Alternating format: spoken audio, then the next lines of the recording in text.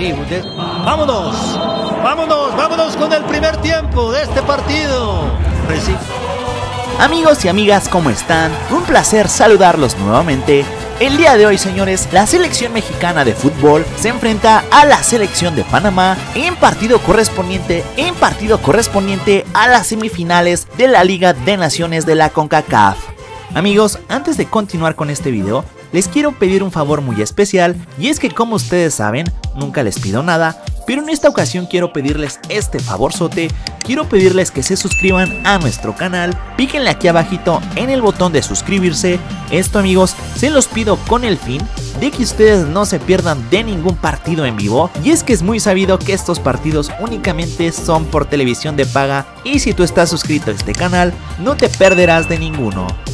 Así que en este video vamos a conocer en qué canal tú podrás ver este partidazo y además te daré mi pronóstico para este partido.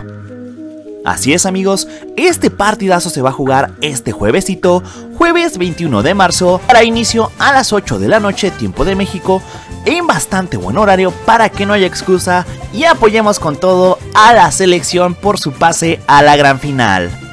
Así es señores, tremendo partidazo se nos viene y bueno, señores, la selección de México, como se los acabo de mencionar, se enfrenta a la selección de Panamá en cancha del ATT Stadium en Estados Unidos.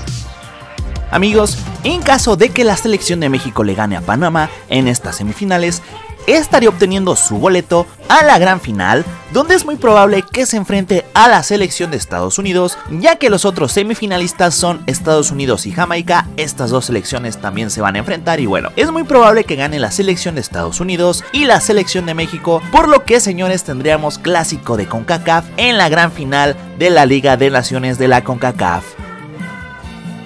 Pero antes tendrán que vencer a la selección de Panamá, un rival bastante digno y bastante fuerte. Ya veremos qué tal le va a los dirigidos por el Jimmy Lozano. Personalmente pienso que la selección de México se impone 3 goles a 1 a la selección de Panamá, pero bueno, ya veremos qué tal le va a la selección el próximo jueves. Y bueno amigos, el partido de la semifinal entre la selección de México y la selección de Panamá lo podrá seguir por la señal en vivo de...